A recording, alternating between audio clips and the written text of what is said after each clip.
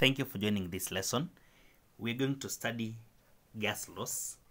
The first question is telling us that a gas has a volume of 20 cubic centimeters at 27 degrees Celsius and normal atmospheric pressure.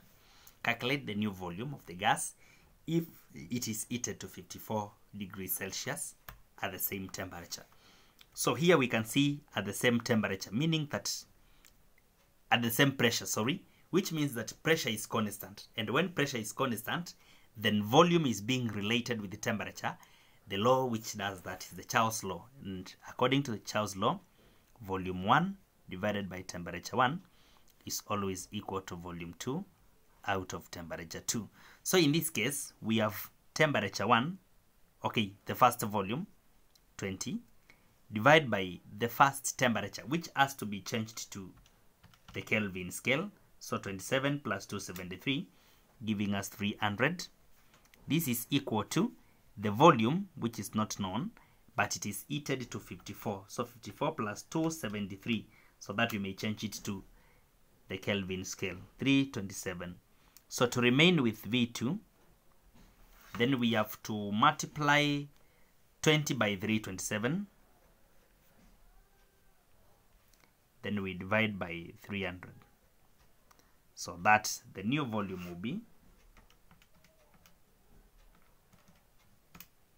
21.8 sorry cubic centimeters. 21.8 cubic centimeters will be the second volume. Since temperature is increasing volume has to increase according to Charles law.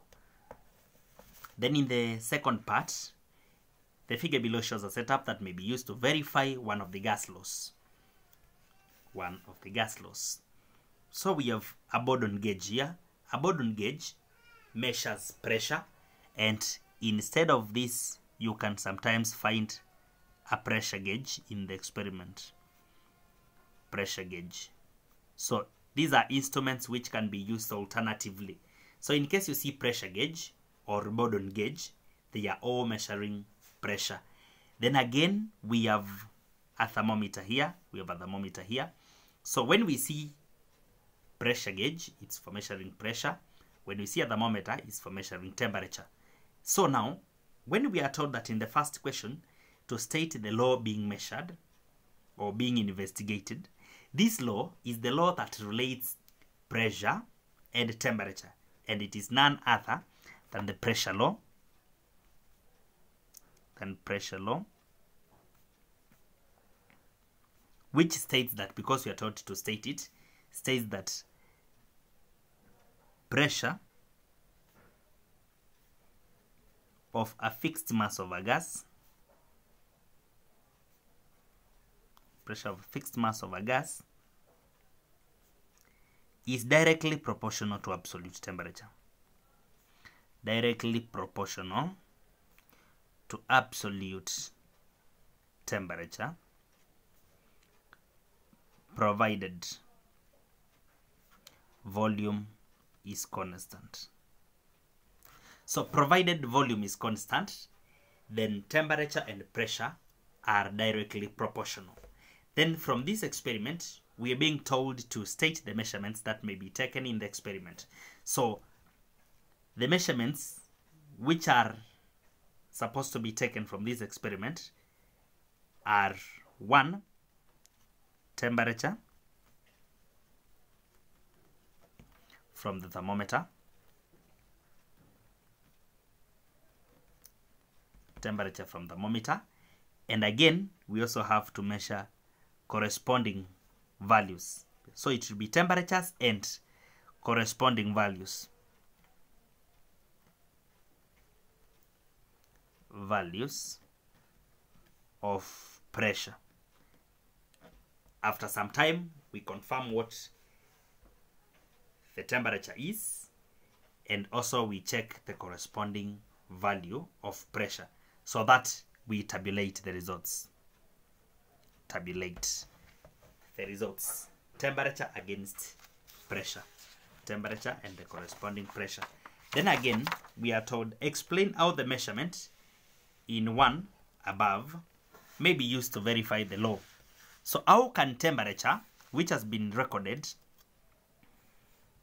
against pressure, be used to verify the pressure law? Because we've already mentioned that it is pressure law. So what we do here is we plot we plot pressure against temperature. Pressure against temperature. So when pressure is plotted against temperature if we get a straight line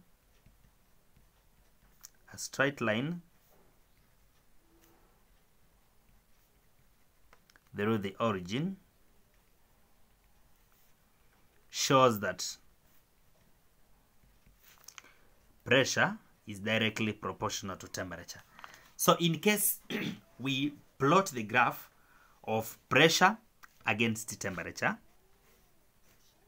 pressure against temperature, pressure against temperature, and we obtain a straight line through the origin, then this will mean that pressure and temperature are directly proportional.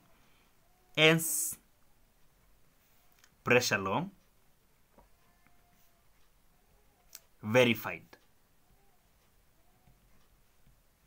Hence, pressure law verified. So, by confirming that they are directly proportional, that is from the straight line, then we will have confirmed, con confirmed that pressure law has been satisfied or verified by this experiment. Thank you for following. Kindly subscribe and share.